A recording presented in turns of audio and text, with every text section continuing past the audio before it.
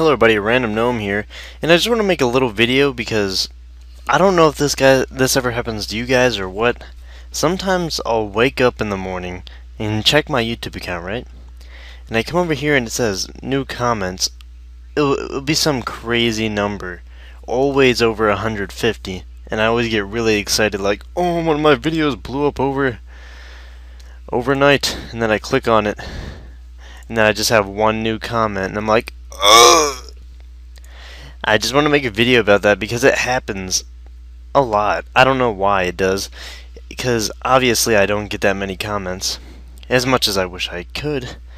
But it just doesn't happen, and that that glitch always gets my hopes up. I don't know what it is. I don't. Maybe YouTube found me and was like, oh, man, this guy, this guy really wants a lot of people to watch his videos and comment and get feedback. You know, let's mess this. Let's mess with this guy. Let's let's get his hopes up.